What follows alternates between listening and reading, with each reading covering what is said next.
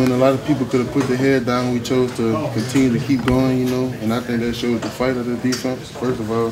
But just being able to shake back from a tough loss like that and just keep stacking the days and just keep honing our technique and just overall just keep getting better every week. How much of the little things kind of been the difference maker along the defensive front? Um, it's a lot, you know, just just from little things like attacking the tip of the pad, having good eyes, um, being able to have good block recognition, you know, all that stuff that I feel like we was lacking at the beginning of the season. Um, you know, and with Coach Pete being an addition to our room, you know, it's been very helpful just to have a, a old mind like him around, somebody that really invented D-line play in some in some sort, you know. Um, but just doubling down on just the little things, like I said, um, eyes, good technique, hand placement, stuff like that, it'll go a long way. Does he speak the language that's kind of easier to do? Yeah, for sure. You know, um, just from transitioning from different coaches from our freshman year, like O, um, and just kind of speaking the same language that O was speaking, and then going to Coach Cain, they speak two different languages. So it's just like, you know, hearing and hearing the old language that I was already hearing, you know, and just a good refreshment for me. What have you specifically learned from Coach Jenkins?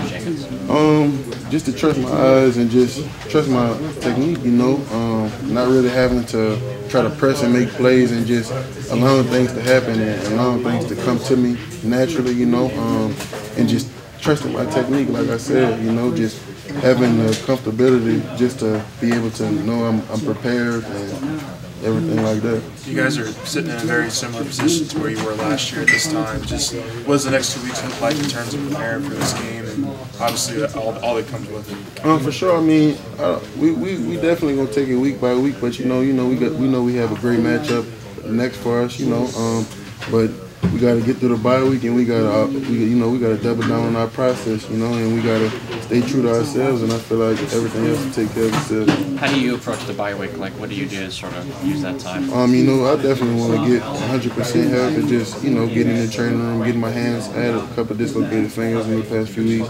Just getting my hands right, getting my legs right, you know, just being able to kind of take a chill um, that I haven't got since the beginning of the season. Do you think this team needs that?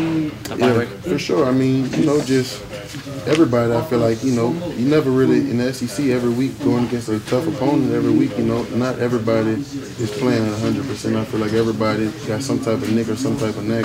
You know that we all can get fixed up. So I think it'll be helpful for the team. Where are you at on your journey as far as kind of being better? Um, you know, it's been ups and downs, you know, but I feel like um, through the last couple of weeks, I've been I've been steadily getting better, you know, and that's just all it was for me, you know, just getting back to being who I am and I know I could be, um, and just getting the rest off, you know. I feel like what Coach Jenkins getting here and really teaching me good technique and just how to act and how to think right, you know, I feel like it'll be a go a long way for me.